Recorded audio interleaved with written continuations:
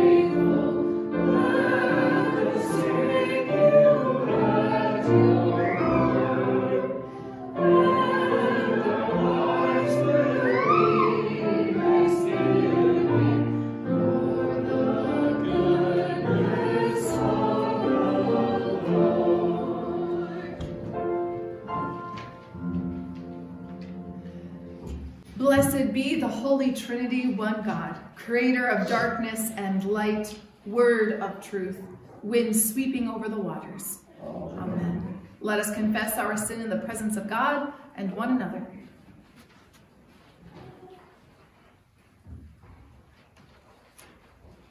God our rock and refuge. We pour out our hearts before you. We have known you, but have not always loved you. We have wounded one another and sinned against you. We have not always recognized the Holy Spirit dwelling in each of us. Remember your covenant, renew your creation, restore us, that we might proclaim your good news to all. Amen. The voice of the Lord is upon the waters. God has spoken. The time of grace is now. In Jesus, the reign of God has come near. By the authority of Christ, your sins are forgiven. You are God's beloved. Amen. The grace of our Lord Jesus Christ, the love of God, and the communion of the Holy Spirit be with you all. And also with you. We turn to our Kyrie from Setting Three.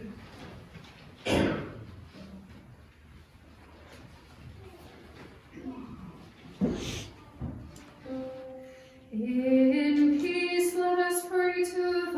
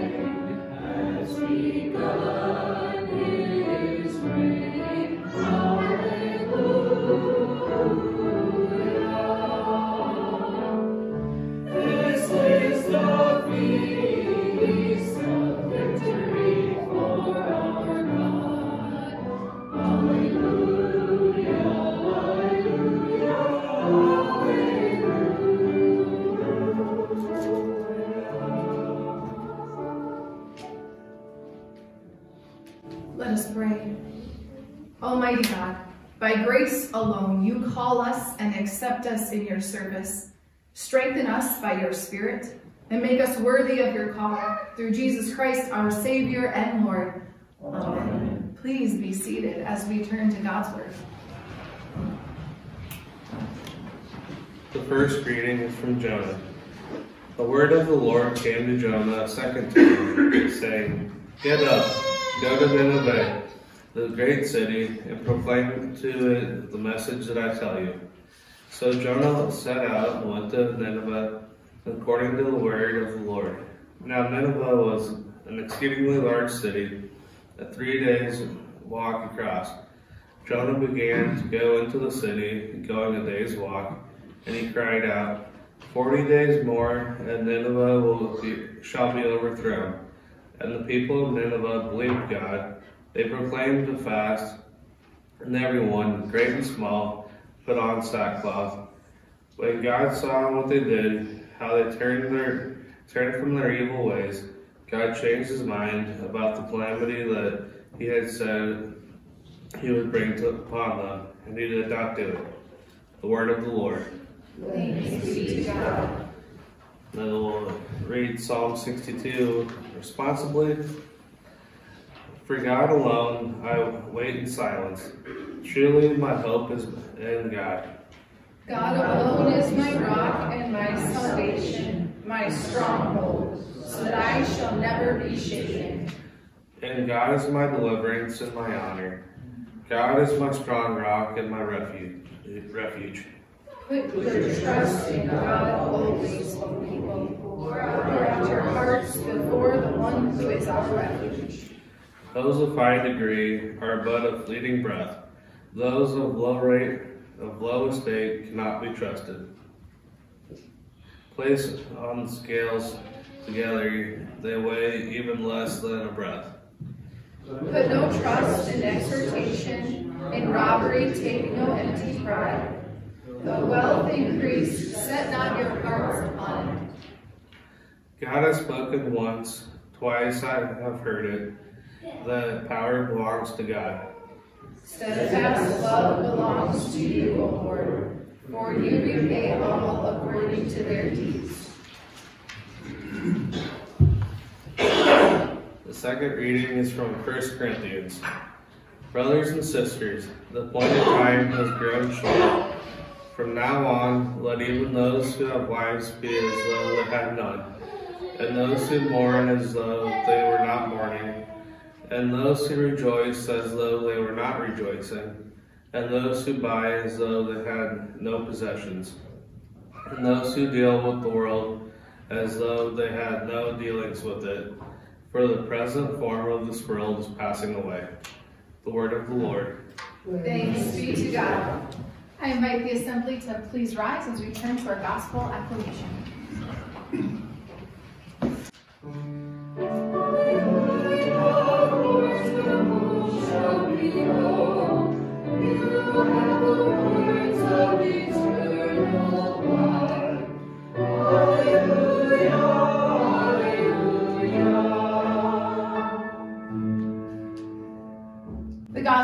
Today comes from the Gospel of Mark, the first chapter. Glory to you, O Lord. Now, after John was arrested, Jesus came to Galilee, proclaiming the good news of God and saying, The time is fulfilled. The kingdom of God has come near. Repent and believe in the good news. As Jesus passed along the Sea of Galilee, he saw Simon and his brother Andrew casting a net into the sea, for they were fishermen. And Jesus said to them, Follow me, and I will make you fish for people. And immediately they left their nets and followed him. As he went a little farther, he saw James, son of Zebedee, and his brother John, who were in their boat mending the nets. Immediately he called them, and they left their father Zebedee in the boat, the hired men, and followed him. The Gospel of our Lord. Praise to you, O Christ. You may be seated. Early uh, in the summer, when my girls were still attending daycare, they came home and said, Mom, when can we do a yes day?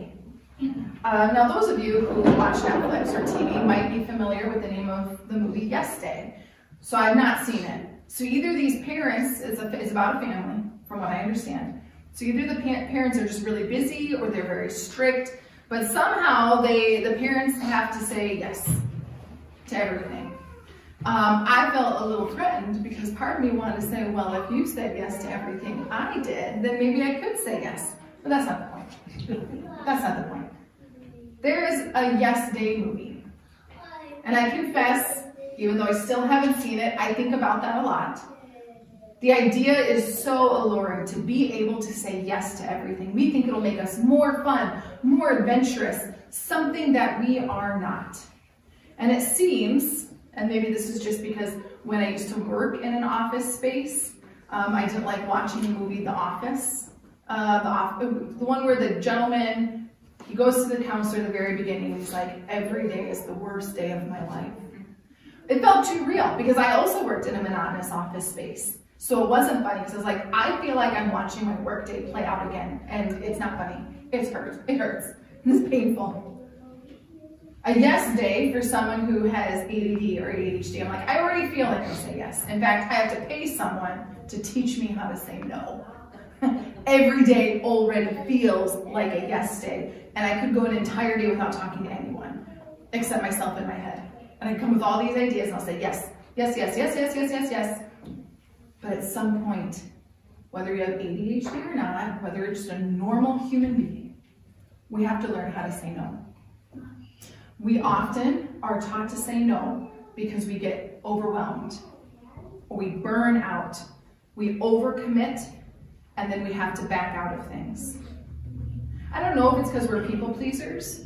Maybe we all have a little bit of rejection sensitivity disorder where we're afraid that if we say no to something, people will not like us. People will outcast us. Maybe we're afraid that we'll miss out on something awesome if we say no to the wrong thing. But we cannot say yes to everything. And if I've learned anything in this past year while learning how to say no, it's not just the unfun things we have to learn to say no to. It's the fun things that we have to learn to say no to. Not because we are particularly terrible people or we need to be punished, although Lutheranism sometimes we can end up going in that direction. We need to learn how to say no to things so we can say yes when God calls us. The creators for today's content on Sundays and Seasons had a great like food for thought brain teaser. They mentioned how on those little desk calendars, you rip off a page and there's a quote or a saying. One of them came across a quote. It said, decide what you want and what you are willing to exchange for it. Set your priorities and go to work.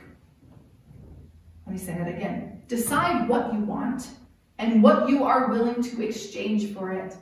Set your priorities and go to work. For someone who wants to say yes to everything, that statement makes me feel overwhelmed and terrified the same way repent makes most people terrified. No, no one has, no one has come across this one? Mm-hmm. What makes you more scared? Decide what you want and trade off for it or repent? You're a pastor's kid. You're gonna, you're gonna say Jesus. no. Decide what you want and what you're willing to exchange for it. Repent, for the kingdom of heaven has come near. Which of those statements makes us a little more anxious than the other? That one. Repent, the kingdom has come near. Yeah. I think there's a lot of people who would probably agree with that. How do we even know where to begin to decide what we want? How do we even begin to know what we want? How do we begin to know what we're willing to exchange for it? How do we know what God is calling us? We have this thing in the church world that we talk about, and it's called discernment. It's the act of continually listening to God and deciding where we're going to go. Hmm? Maybe we need to go to the nursery. There we go. Repentance is hearing the call and turning away from the things that draw us away from God. And like discernment, repentance is a never ending process. What do you want? What are you willing to exchange for it? Oh, don't ask me that. I want to say yes to everything. I want to do it all. That's why I have multiple cupboards, multiple closets, a couple of rooms in my house that house all the crafting things that I was going to do that I've never done. What do I want? I want to do it all. I don't want to exchange things. I just want to be able to do it all. But there's not enough caffeine in the world to accomplish it.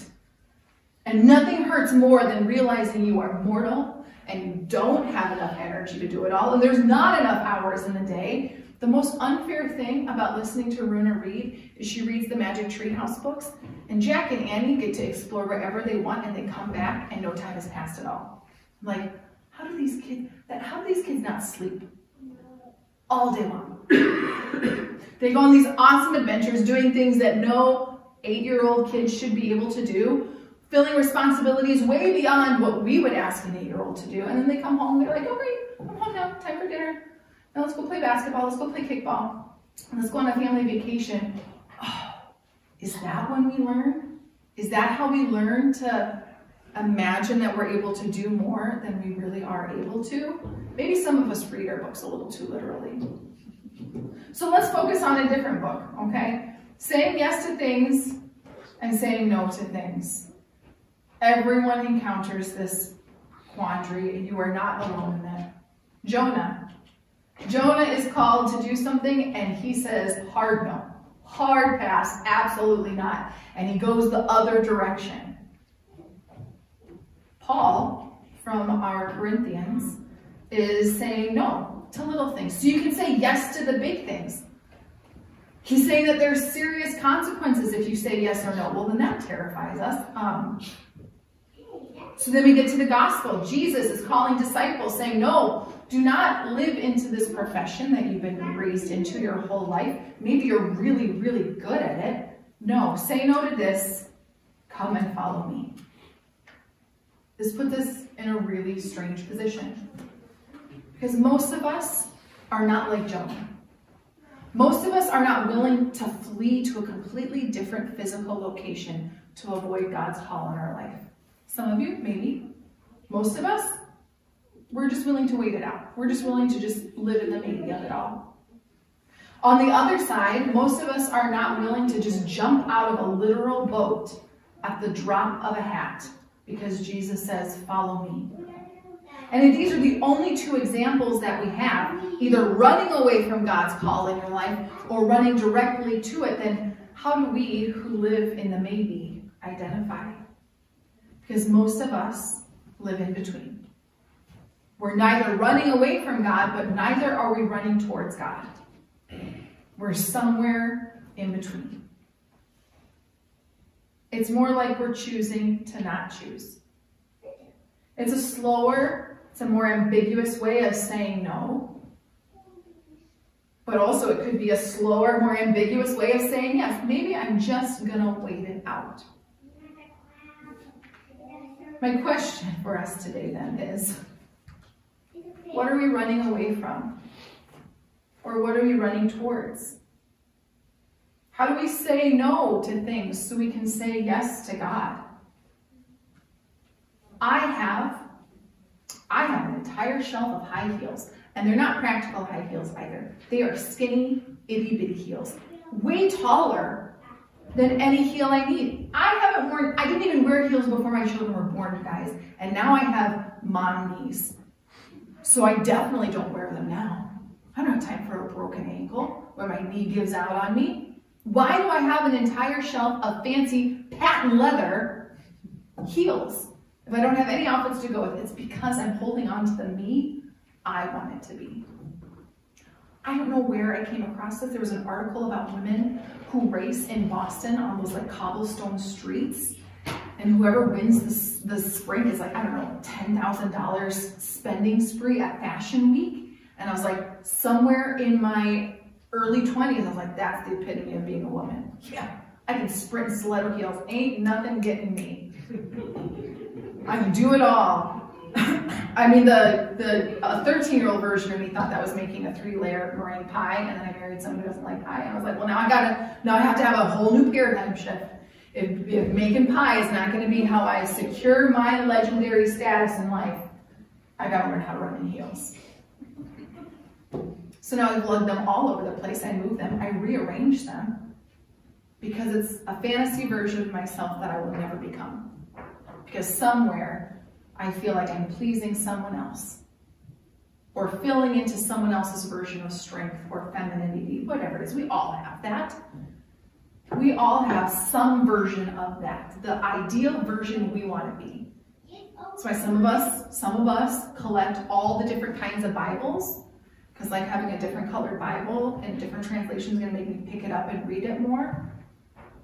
That's why we have so many things, so many crutches, right? You don't need me to externally process all of my baggage. I will, but you don't need that today. We want to be this ideal version of ourselves. That's what we want to say yes to. And we say to no to everything else. But then we can't actually live into that. So what are we willing to say no to? Even the things we desperately wanted. So we can say yes to what God wants us to do. What God is calling us to do. And I don't think we miss out on nearly as many things as we are afraid we're going to miss out on when we say no. And I don't think we offend nearly as many people as we are afraid we are going to offend if we say, I can't. Do you know the thing that made me the most anxious in my early 20s? So if you know an early 20 year old out in the workforce, like maybe just like ask them first and then give them a pat on the shoulder. It was saying, no, I'm tired. No, I can't do that. I'm tired. So it's like, no, I'll just pound a couple, I'll drink a couple cans of Coke. I will form a coffee addiction, even though I don't like the taste or the smell of it. Jonah said no, and God stuck with him. The disciples said yes, and God ran with them. We say maybe, and the Holy Spirit just keeps nudging us. Say no to some things. Say no to the things that take you away from God. Say no to the distractions that we fill up our calendars with.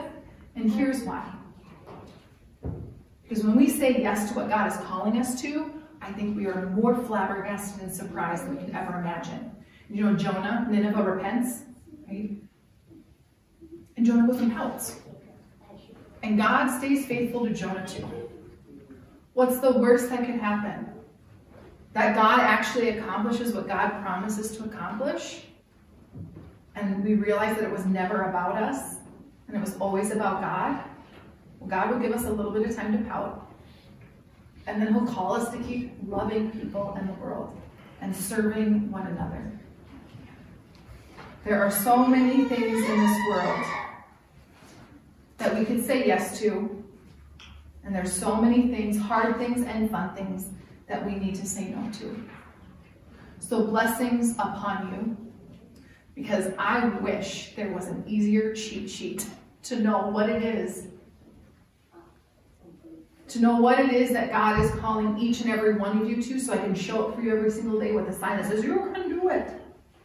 This is as close as I can get you to a cheat sheet. Love yourself as God loves you. Be gracious and merciful to yourself. Love your neighbor as yourself. Do not cling to the grudges. Do not have expectations for people that they cannot fulfill. Do not demand things of people that they cannot give you. Turn everything over to God, for He is your rock, your foundation, and the one who will carry you through this life into eternity.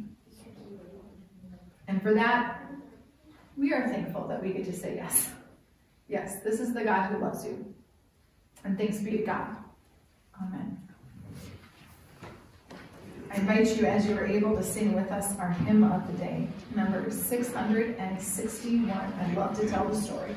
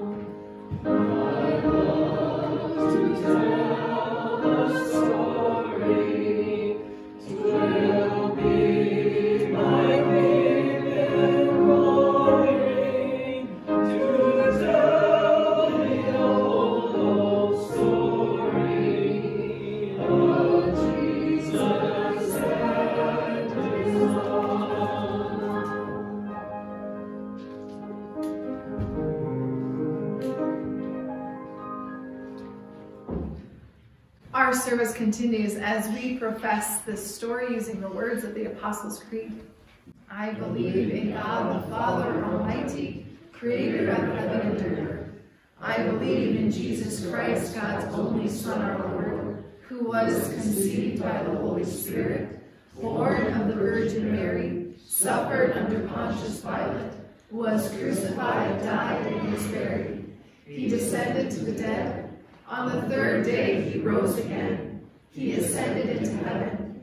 He is seated at the right hand of the Father, and he will come to judge the living and the dead. I believe in the Holy Spirit, the Holy Catholic Church, the communion of saints, the forgiveness of sins, the resurrection of the body, and the life everlasting. Amen. As we celebrate Christ embodied in human form, we pray for God's blessing on the church, the world, and all of creation. God, our rock and deliverance, do not let your church be shaken. We trust you never abandon your promises to the most vulnerable among us. Give your church wisdom and empathy in its varied ministries. God of grace, receive our prayer. God, our, oh, sorry, go for it. God, our hope and refuge, you placed the fish in the sea. Guide our care of oceans and all creations that live in them. Hold us accountable for actions that endanger water resources and the people who depend on them. God of grace, receive our prayer.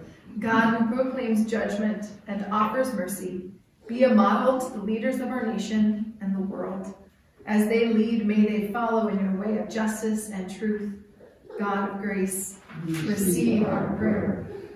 God who cares for the suffering, care for survivors of assault and sexual abuse, and sustain all who minister to them.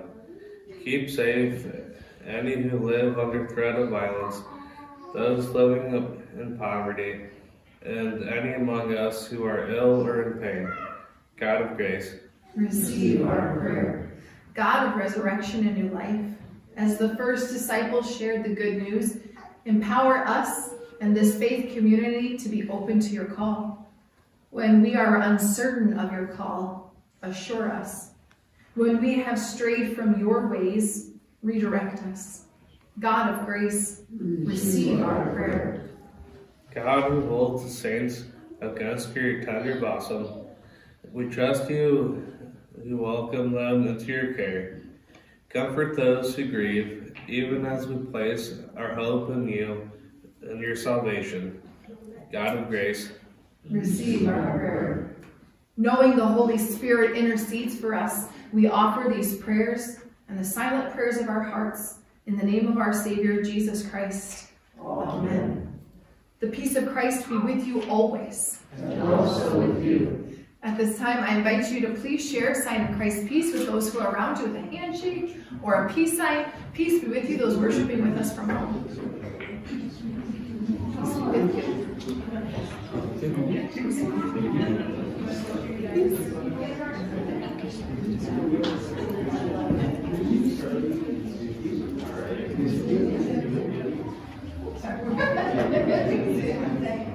Peace be with you.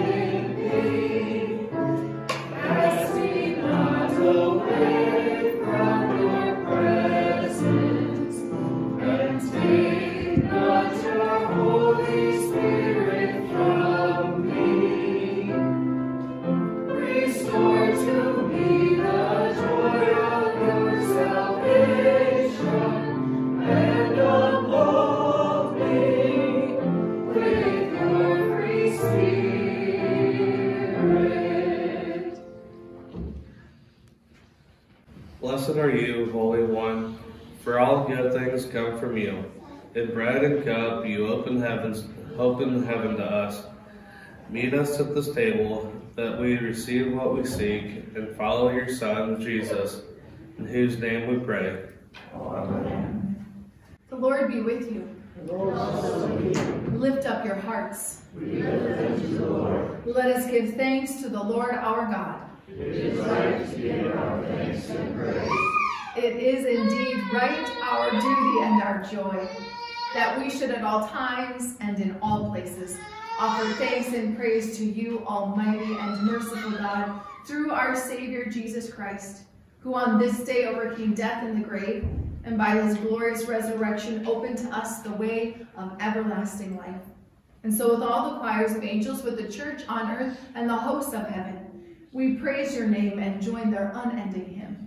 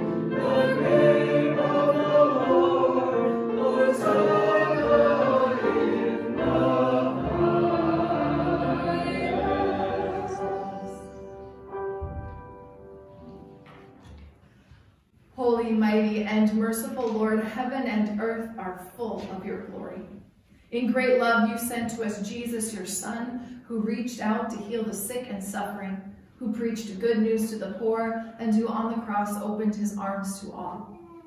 In the night in which he was betrayed, our Lord Jesus took bread, gave thanks, broke it, and gave it to his disciples, saying, Take, eat. This is my body given for you. Do this for the remembrance of me. Again, after supper, he took the cup and gave thanks, and he gave it for all to drink, saying, This cup is the new covenant in my blood shed for you and for all people for the forgiveness of sin. Do this for the remembrance of me. Remembering, therefore, his death, resurrection, and ascension, we await his coming in glory. Pour out upon us the spirit of your love, O Lord, and unite the wills of all who share this heavenly food the body and blood of Jesus Christ our Lord, to whom with you and the Holy Spirit be all honor and glory now and forever. Amen. Lord, remember us in your kingdom and teach us to pray. Our Father, who art in heaven, hallowed be thy name. Thy kingdom come, thy will be done, on earth as it is in heaven.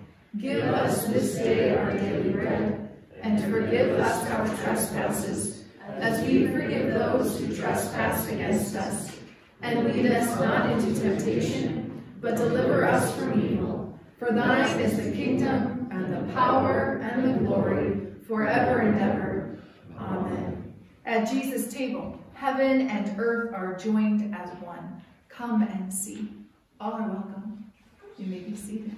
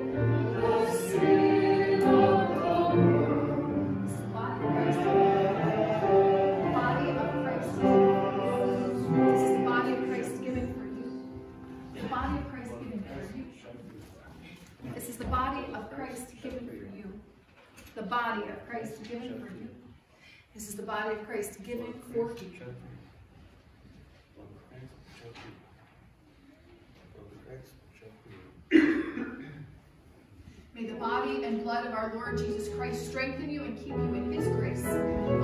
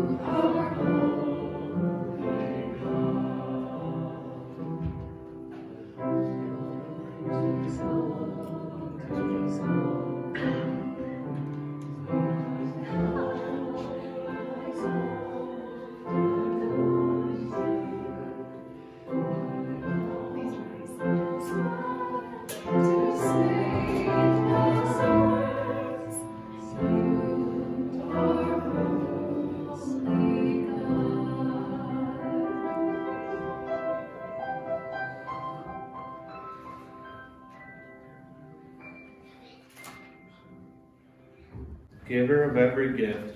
Christ's body is our food, and we are Christ's body. Raise us to life by your power, and the benefit of all, and to your glory, now and forever. Amen. Can you say amen, Finn? Amen.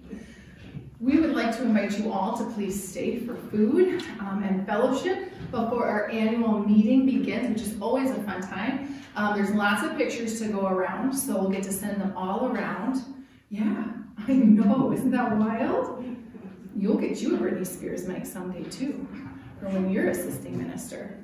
Um, but please do join us for food and fellowship. Should we bless these? Should we bless these guys? Yeah? You want to raise your hand? You guys may bless him back too. So we can all raise hands. There we go.